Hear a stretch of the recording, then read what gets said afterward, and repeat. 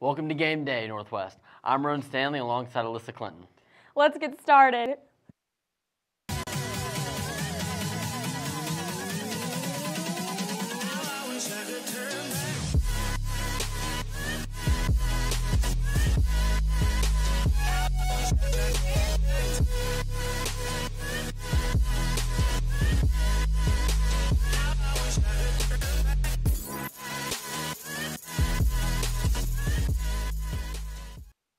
This year's Lady Raven tennis team led a strong campaign headlined by a lot of young and upcoming talent. Let's take it to Catherine Farewell for the recap. The girls' tennis team had a successful season. The team strived for greatness. The team sent several athletes to regionals. Regan Ofterhide had an overall record in singles was 8 and 12 and all in doubles she went 2 and 5. Nikki Hoffey went 8 and 2 in singles and 6 and 5 in doubles. Mallory Brown had a record of 5 and 4 in singles, and Sydney Moore went 5 and 1 in singles. The team finished 8th out of the 12 teams in the Sunflower League. It was an improvement from last season, when the team finished 9th in the Sunflower League. With a lot of young talent and dedication, the girls are looking forward to next season.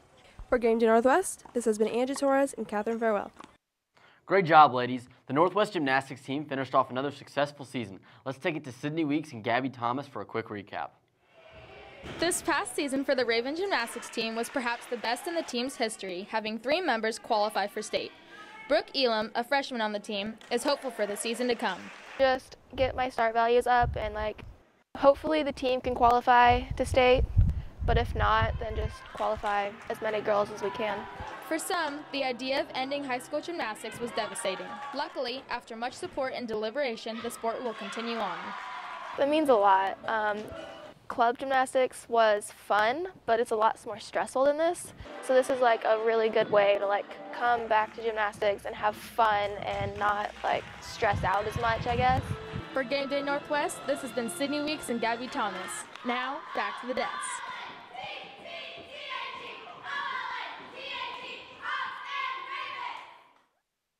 Last Saturday, the Olathe Northwest cheer team competed in the Blue Valley Southwest Showcase. Let's head over to Gabby Thomas for the recap.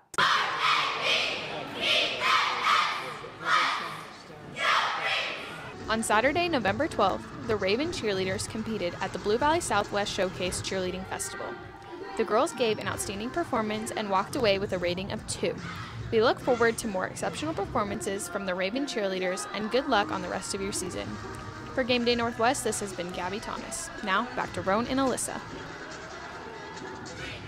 It takes some real athleticism to do what they do. Which is something you lack. Oh, thanks, Alyssa. Every year, ONW holds a signing ceremony. Alyssa has the story. Last Thursday, we held our annual Signing Day ceremony. Signing Day gives student athletes a chance to show their friends and teachers what universities they committed to. This year, we had 14 seniors participate in signing day. Maddie Young, a D1 softball commit, is excited to further her career and education at the University of Northern Colorado. I, I, mean, it's been my goal to play D1 softball for my whole life, so it's like surreal that it's actually like happening and I get to do it. For Natalie Ham, she has been dreaming of this day since she was young, and she is excited to get the chance to play against her close friend, Hallie England. Feels really good. I've been waiting for this since I was like nine, so. Feels awesome.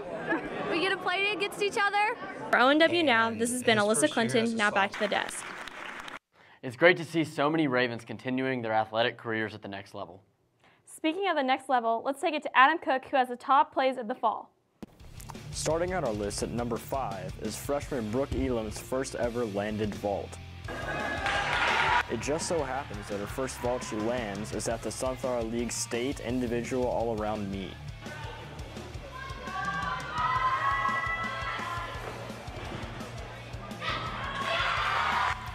Elam scored a dazzling 9.25 out of 10 on the vault.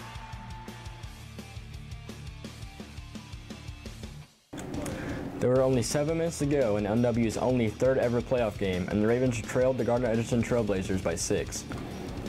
The play was a wide receiver screen pass to big offensive playmaker Elijah Rowland, and make a play he did.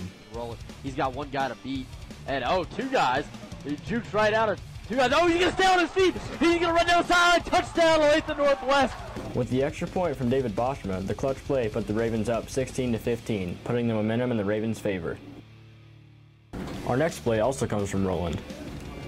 It was the night of the homecoming game, and the Raven faithful showed up in full force to support Northwest against Leavenworth Pioneers.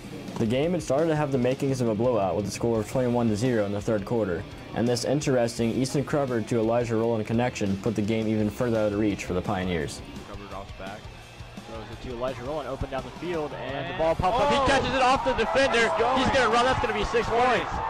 10. Touchdown, Elijah Rowland. Touchdown to Olathe Northwest. What a crazy play. After a hard-fought season, the boys soccer team faced Shawnee Mission West in the Regionals Championship game. The game was a nail-biter, tied 0 to 0 right up to the finish, where late in the second half, this happened.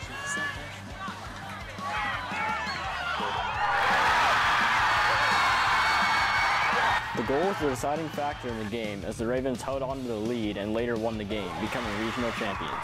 And your final score, Olathe Northwest 2, Shawnee Mission West 0.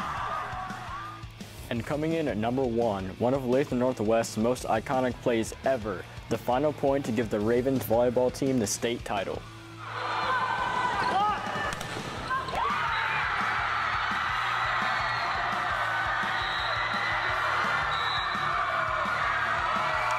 Here's to a great season of ONW Fall Sports. Let's gear up to make more highlight plays this winter. This has been Adam Cook. Now back to you guys.